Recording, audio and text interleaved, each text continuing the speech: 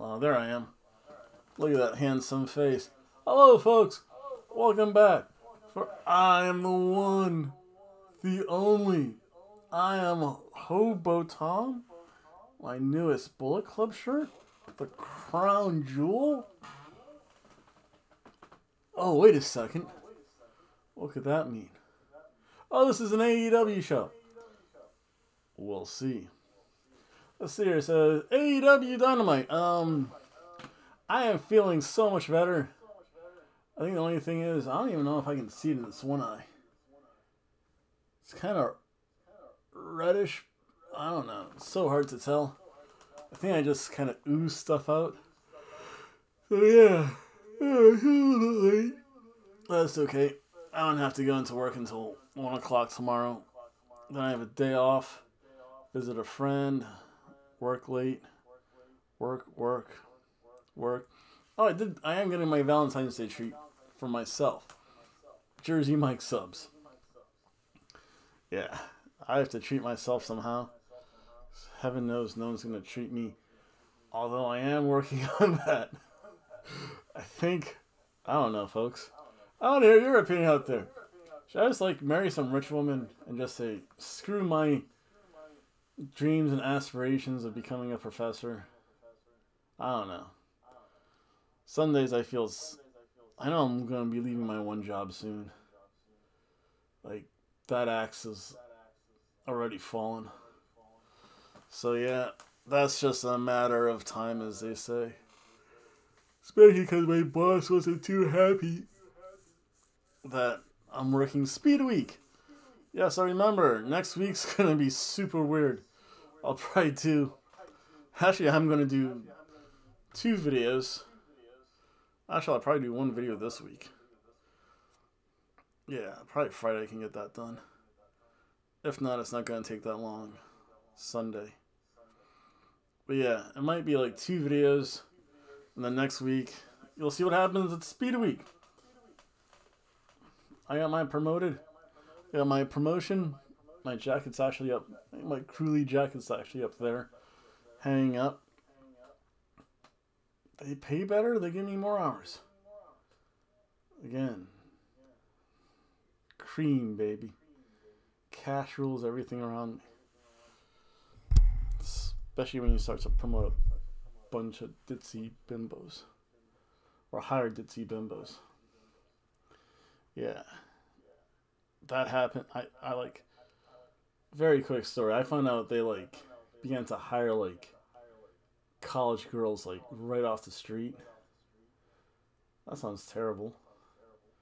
Yeah, I've been there for three years. Barely a higher higher hello. They just say get back to work. And then they wonder why I choose to screw up at work now. It's just pay's not worth it getting paid better. That place, when scoring season comes around, oh, that's what it's going to be like for like three, four months, depending on which place I'm work I'm working for. Again, racetrack is racetrack is treating me awesome. Can't fault them. And then it's just after August. I mean, if I did have to find a job in June, I only need one day off. If it's that one place I'm kind of hoping for. So yeah, but enough about my rant and raves. Let's talk about some AEW Dynamite. Yeah, that, that, that sounds about right. Um, starts off with CM Punk and MJF. They start doing a promo in the ring. Uh, CM Punk wants a rematch against MJF. Yeah, he has to find a tag team partner and go through FTR. We'll see what other challenges there will be laid out. First match tonight, we have the Blade versus Wardlow. This is the one thing that AEW has been known to do. Oh, that's right. I did go to the gym and I did the video. Uh, the one thing AEW has been known to do not Hoboken tomorrow. Tomorrow's going to be freezing. Actually, I am tomorrow. I have to wake up and go do the mall hobo. Go do the mall route. Need three more pieces of aluminum for my at least double digits. Which reminds me, I got 104 last week. So that's good. Then with Super Sunday coming up, I don't know. Hopefully my neighbors just leave out all their cans. That'd be good. But yeah, wait, where was I going with this? Oh yeah, um, the Blade versus Wardlow. Um, AEW is doing a lot more random match stuff. I mean, I don't even know where they came up with this this idea. Um, it's not bad. I don't know why. I don't know what. What I mean, if they went to like gang warfare, like they do in New Japan Pro Wrestling, it would be the Hardy Family Order, or the Hardy Family Organization, taking on, I guess, the Pinnacle. So I can see that. Um, Blade, he goes right after the legs of, of Wardlow. At least he's smart. He knows Wardlow's a big dude, thick dude. Only way to get that guy down go after his legs. Uh, but Wardlow, again, too big. A huge belly to belly suplex. That looked great. The big strikes in the corner by Wardlow. And, and then, uh, that, like, yeah, the Blade got a couple more moves in. Not that much to talk talk home about because the Blade got power bombed Four. what? I got life. That's right, baby, baby. So yeah, he got power bombed. Or no, I'm not to do that yet. Four times. Four. Yeah. And then he, he just put his boot on him. That was the end of that. Wardlow wins. Not so much a squash match. Solid match. Nothing really horrible happened. Cheeseburger match.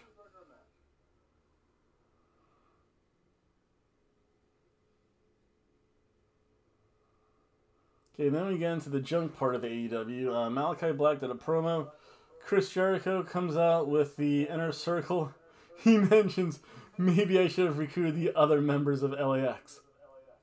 Oh, a Senor Hernandez and a homicide. That would be pretty cool. Then um, another promo came up. We had a Roppongi Vice. But wait a second. What's that music I hear? Wait a second.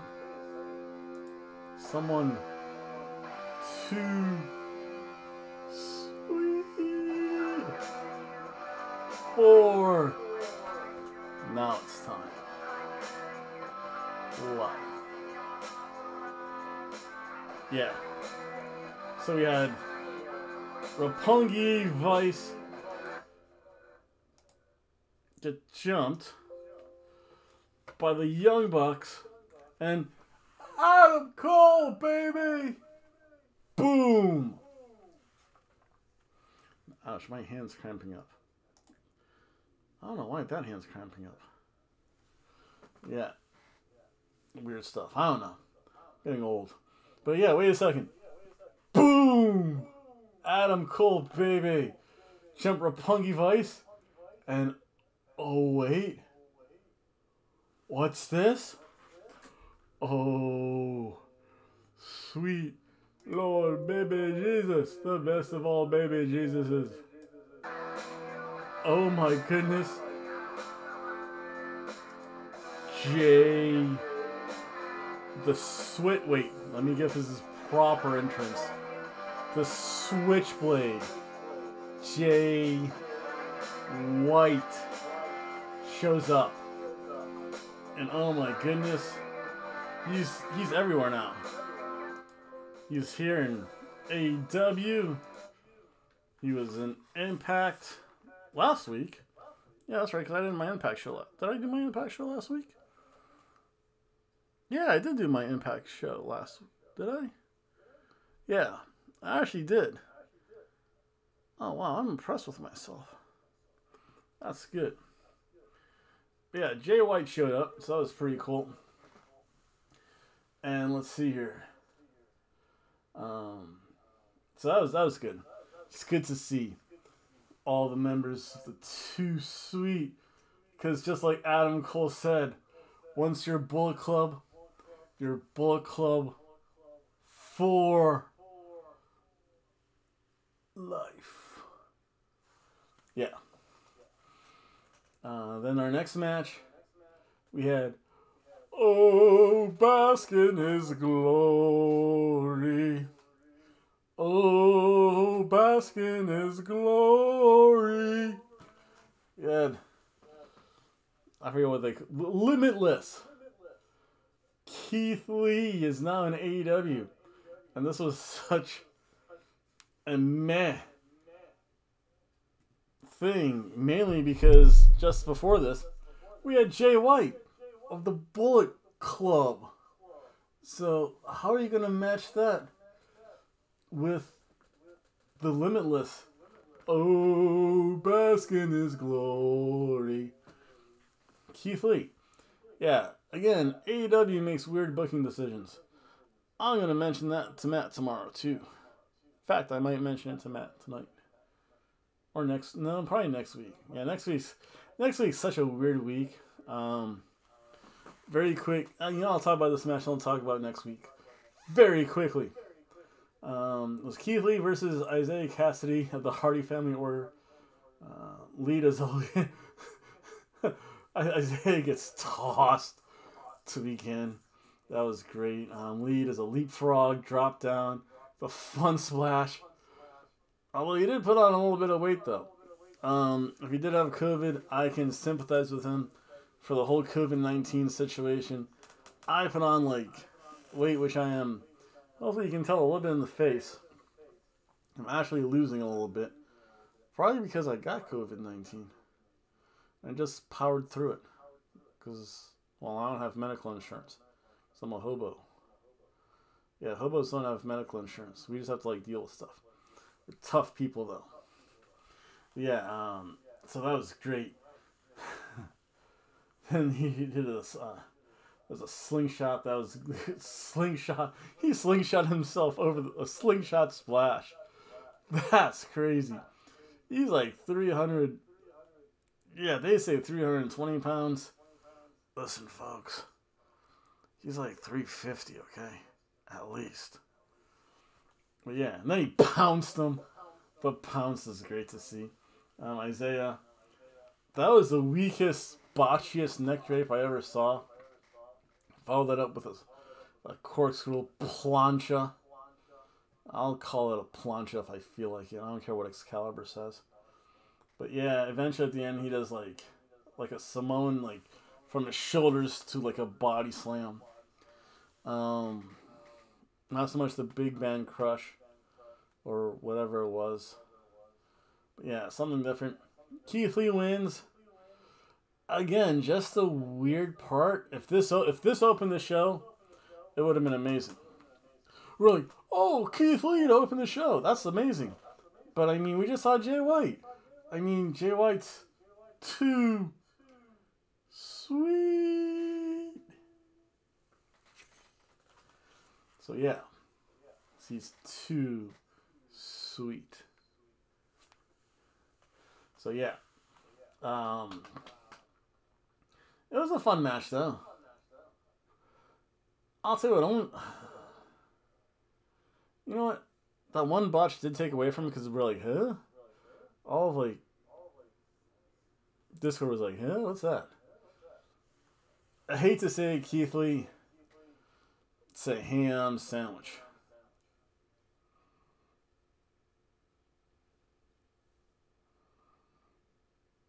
Oh yeah, there was no spirit bomb or the Big Bang Crush, or whatever. Oh yeah, very quickly. So the reason why next week's weird, not only is it Speed Week, but like it was it was a sad day and a happy day. The sad part is my good friend Matt Matt uh, Matt's dad passed away because I know he texted me. I think during our meeting for the one race, and I was just like, dude, I don't even want to be here. I powered through though. I'm a hobo. Well, I need the money, and I was there. But yeah, that was. But the weird thing is, like that whole day, I'm just like, dude, this sucks. Um, I think the next day, the day of the 500, my nephew was actually born. So it's just one of those weird things. It's like, yeah, it's great. I mean, I'll tell you what. the weird thing is, and out there in YouTube land, let me know if this has ever happened to you. Like, I felt worse being at work my friend's dad passed away than I did at the, the birth of my nephew. Mainly, probably mainly because my sister has like six kids, or she had five, and this just added one more. So I'm just like, yeah, it's another one. Whereas Matt's dad, he was, I don't know. It just kind of sucked. Like that whole day, just I'm I'm just like, dude, I'm not feeling it. It's like I was so happy to be the walker. I could just like walk around the entire building. I think, I think literally, that day I just walked around the entire sports venue, and I'm just like, like in like half a days, I'm like, hey, yeah, yeah you want your break? They say yay or nay, and so I'd be like, yeah, whatever. Let me sit down. Actually, I think more towards the end, I was like, yeah, I better start giving people their breaks because my legs are getting tired from walking. But I mean, like that day, I think I just like walk. I'm just like, you know what? I'll be here. I'll do what I'm supposed to do, but I'm just gonna like walk. It was just so weird. Let me know out there in the YouTube universe if I had an experience like that. Uh, then we had a Thunder Rosa promo. And it is what it was. Her and Mercedes Martinez was such a B level stuff. Uh, and then we had CM Punk. Oh, wait a second. I, don't I have any? Wait. I don't want Yeah, CM. Let's see here. Let me find some. Some. Some. Yeah, CM Punk deserves this. Although. Let's see here. Where is it? Where is. Like Mussolini and Kennedy. It's a cult of personality.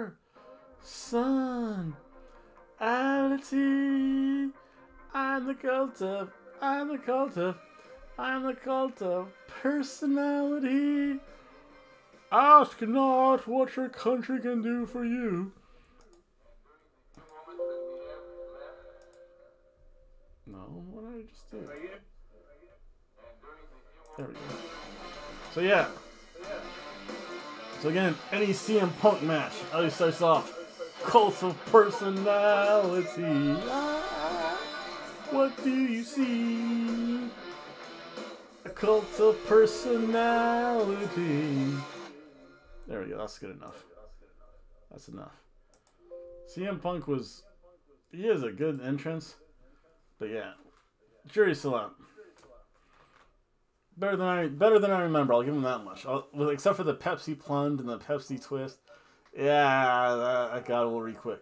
But you know what? So CM Punk and Jon Moxley.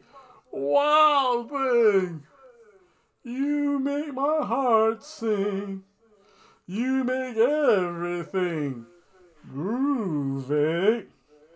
Wild thing, I think I love you, but I wanna know for sure.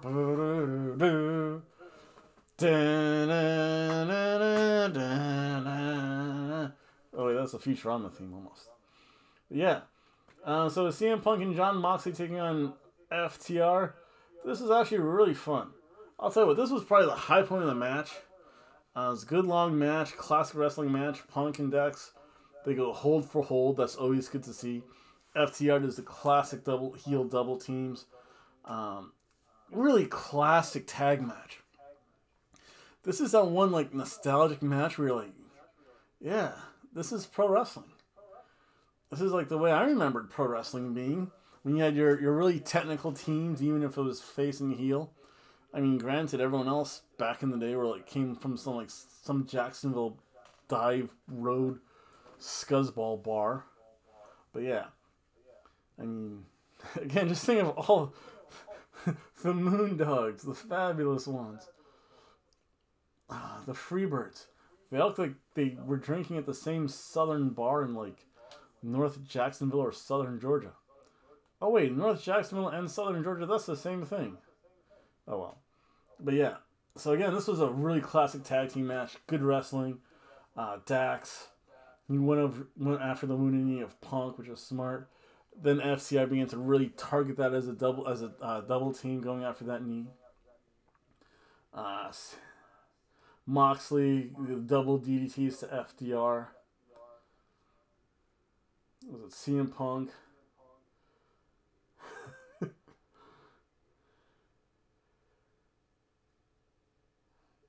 starts to die. Oh yeah, CM Punk started to die. He got caught by FTR. Moxley dives onto CM Punk, which I'm sure there was some trepidation for, of. Uh, so Moxley finished that. Dax drops the elbow. Uh, Punk, he eventually does get the hot tag as Moxley gets up a bit. There's back to back, yay Booze, uh, dual submission. Uh, Moxley had the one guy in the sleeper hold, not the rear naked choke, rear naked choke, the arms behind, sleeper hold, kind of holding the forehead. Excalibur has to get that right. Uh, put in the anaconda vice but was distracted because the one referee was there. Tully gets involved. Tully gets the GTS. Oh, he has to be careful. Tully Blanchard isn't exactly one of the four horsemen anymore, okay? Um, then they did the dual, then they, again, the tease of the dual finishers. Then they eventually got the dual finishers, the uh, paradigm shift, and the GTS. Moxley and CM Punk at the win. I'll tell you what, this was a good match. This was fun. They didn't have to get Tully involved. Surf and turf match.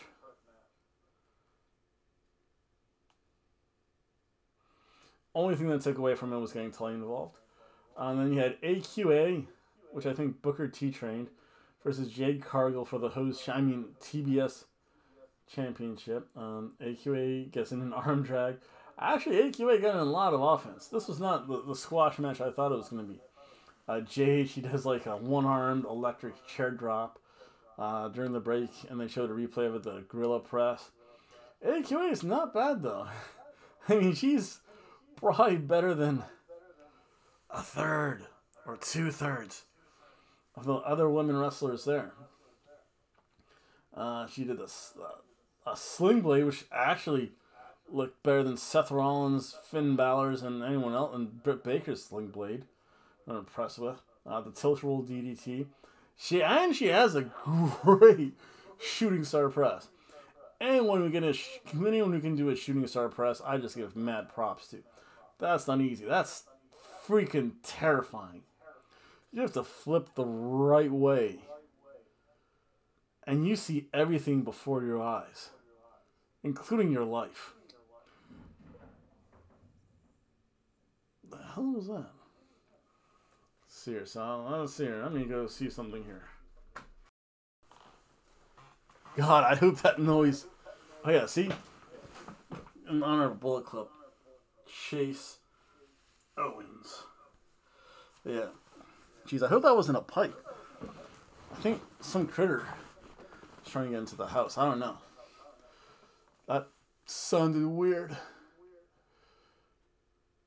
But yeah. Oh well. Yeah, I didn't investigate. The last time, very quick story. The last time my cat saw a critter outside, my cat is very protective of my house. Probably because she thinks it's her house. And I just clean up her litter box and feed her. But yeah, like she almost jumped through a window to get to another cat. So yeah, I have to kind of be conscious of that. Where was I? Um. Oh yeah, this whole Jade Cargill match again, you you pull off you pull off a shooting star press. I have mad props to you because you're you're facing forward. You have to do a backflip. You see the turnbuckle. So first of all, you're facing this way. So you have to jump, get enough height, rotate, and you literally see everything too. So you see the top of the building, the turnbuckle, and very quickly, as I learned via when I did my moonsault, that ground comes down pretty quickly. So yeah, you gotta. Anyone who does a shooting star press, I'll always give mad props to. So she did one. Yeah, Jade kicked out of that. She went for another one. and it wasn't happening. Uh, she kind of had to get down because she realized Jade got up. And then the, at the end of the match, the whole, whole Discord. Uh, and this is why I'm going to give this this match a, a can of soup rating. It wasn't bad, and again, there was a shooting star press. Jade did the jaded, but you could hear the ref calling the spots for the two wrestlers because the ref said, "Push, push, push her off," and I'm like, "Wait a second, that's that's a manly voice. That's a referee." The ref was telling the was the ref was giving the wrestlers the spots. Whoa! They didn't even practice. They didn't even walk through this. They just had the ref like tell them what to do. That's terrible. Man, that's the only reason why this match was a can of soup.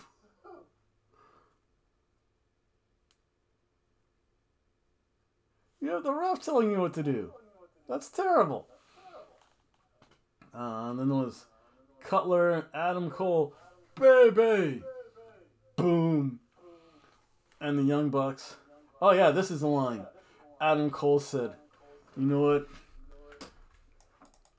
We made a we made a promise to Jay White, and yeah, Jay White hasn't been he hasn't been exactly friendly with us, but you know what, Matt, Nick, and, and just to enlighten you, Cut Cutler, you know." once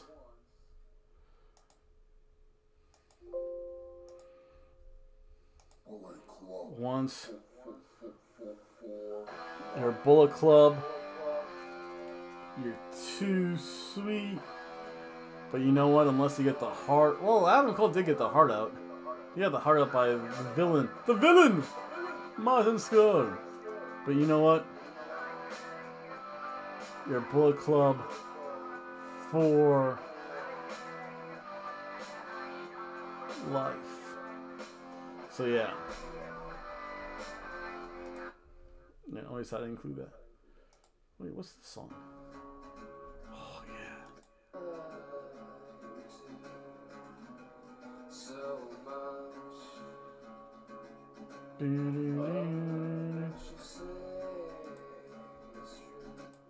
Oh hell yeah touch demigods.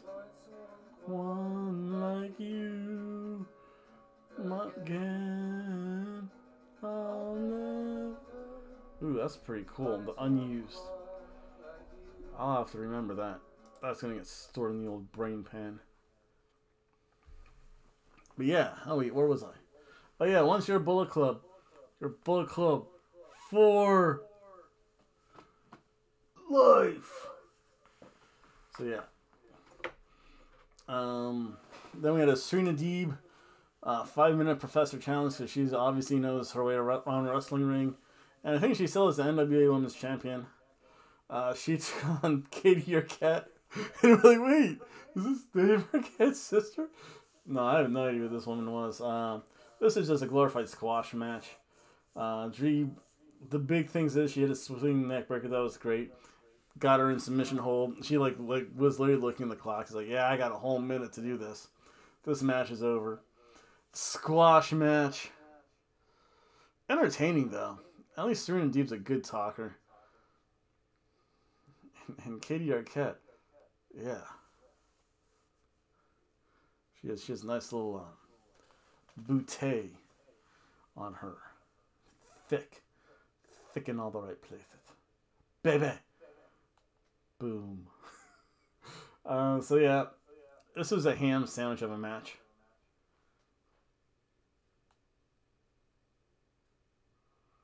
Maybe it was a Care thing that fell. Something sounded like it fell or died. Who knows? Probably a squirrel died in the roof. Um, Oh yeah, then we get to our main event. Lance Archer versus Hangman Adam Page. Wait, this is a there's there's too many Adams. They all sound the same. Yeah, this is a Texas Death Match. Now, I was concerned because the last last Texas Death Match I saw was Mickie James versus Deonna Purrazzo. And oh my goodness, was that convoluted. You could pin or submit someone, but then they had to answer the 10 count or else they lost. At least AEW simplified it and said you either had to win by knockout or submission. So that makes a little bit more sense because if you say, "Hey, I give up," I mean, if you cry, un- "Hey, listen, listen up, sweetheart," you cry, "Uncle," that means you're done, baby. You're done in my eyes. You ain't no son of mine. But yeah, so that makes at least it's not as convoluted. They don't have like ten seconds to like say, "Oh yeah, I'm okay. I can get up after being knocked unconscious." Or being stuck in a sleep. I would just put someone in a sleeper hold and like let them drop. You know, it takes longer than ten seconds for them to recover, or in realist real time it does. But yeah, this is wrestling, so who knows? Uh, Lance Archer versus Adam Page. They started in the back. They must have realized that they were getting close to the end time, so so they had no entrances. Uh, Archer gets thrown through the glass, and there he bladed. He got some juice. Uh, Page hit the buckshot lariat. Um, Lance Archer thwarted the plans of Page with a garbage can. And then uh, Dan Lambert came in. He started to take the, the top rope apart. This could have gone one of two ways. And probably my way would have been the better way. I'd want to see it. Maybe Cheeseman did find a cat. Another critter in the yard. Who knows? I wanted to see them use the turnbuckle bolts. Because you know what? People say the apron's the hardest part of the ring. Uh-uh. The steel ring post and the turnbuckle bolts. Those two things, they are the most hardest part of the ring because they're steel, like solid cast iron, cast steel. And if they pay a lot of money, that's tugs. That's a tungsten steel turnbuckle bolt. Okay, like yeah, it's it's, it's quasi indestructible. You need a lot of force, like gunshot 50 caliber or 45 maybe 9 mil 9 mil caliber bullet club force to break one of those things. Again those ring posts they're solid they're steel. Uh, it's hollow steel but it's still steel. And it's not necessarily that thin. I mean they're like pretty decently thick for steel. I mean boat hulls, if you get a steel boat hull, if you have like a inch and a quarter boat hull, that's pretty that's pretty thick. But I mean, you start talking about steel ring posts, like yeah. Then you cap it off. Sometimes you pour some concrete in part of it so it's a little bit heavier. Those things are not light. So yeah. But then he just like took the top rope off so he can't do the buckshot lariat. But he can still do the dead eye, which we only saw tease, but he did not do. So that was kind of weird. Um, Page hits a moonsault from the barricade when they went outside. Page got busted open. They both did the blade job, baby. Page got got ripped in a couple places. I know there was a big cut across Page's chest. Lance Archer. I don't know. He was just bleeding. I don't even. See, I don't even know if they did the blade job. Cause that I remember when when Eddie Guerrero cut himself. Yeah, it was red, but it was still kind of brownish red. Like this was like super bright, like near neon red. Either they either they nicked an artery, or they added like a little color, like a lot of color to that, because that just seemed overly red. And I know people are going to say, yeah, well, blood's red. Uh, I mean, if you have venous blood, it's kind of like like reddish purple. I mean, I know, even, I don't know. It just seems too bright, and you're like, did they really cut just an artery? Because that looks bright red. And now the thing is, is that you want to cover half your face in it too. You just can't go all like, oh, we're gonna have a little, little drib, dribble of blood here and there. No, we're gonna. Oh, I, I just. Oh, there we go, all over and up and down my face. So half my face is red. If you're gonna do that, you have to have blonde hair, like Tay Conti, the bunny, or woo, Ric Flair. I mean, even when Cody did the blade job, he, his whole half of his face wasn't covered. Or a Candice LeRae. They're all going for the Candice LeRae look. I don't know. But yeah, both of them they have their face covered in blood. Um, Page's chest was all cut open from something. I don't even know when Paige got busted open either. Uh, Jake, Jake did the short arm clothesline to Adam Page. Adam Page, like, kind of like, like sold it for a little bit, got up and said, "What the hell?" and I'm being nice. Jake, the Snake Roberts, told, "Yeah, he, yeah, you know what? whatever." Oh wait, I, I, shouldn't be doing that. So yeah, Jake the Snake just just told him, "You're number one in my book." Yeah, Jake just gave him the finger. Jake gives two F's. Like, yeah, I won't DDT you. He, Hangman, Hangman Page said, yeah, DDT me. And Jake's like, F no. My back can't take that anymore. So, yeah, it's one thing for a short arm clothesline. I'm, I'm still standing. I'm not going down on the hard concrete on my back. You dope. And that's probably being very nice. That's what Jake would really say to him. And there was a blackout on the steps. Lance Archer turned the other way. And oh my goodness. Poor Adam Page literally bounced off the steps. And it looked like he messed his finger up too. Because he bounced off those steps and landed kind of weird. Um, eventually, they go to the outside. Adam Page puts Lance Archer through one of the tables. Hangman Adam Page is the only one to get up after the referee's 10 count. So that made some sense. That was simple to follow. And then Adam Cole, baby! Boom! Showed up. Oh my goodness! I never realized how small Adam Cole was in comparison to Hangman Adam Page. Adam Page's muscle. Adam Cole. I hate to steal the, the term of Jim Cornette, but he looks like a vanilla midget. He had to be at le- he has to be at least a couple inches shorter than Adam Page, weigh at least seventy pounds less than Adam Page, and have and has forty percent less muscle than Adam Page does.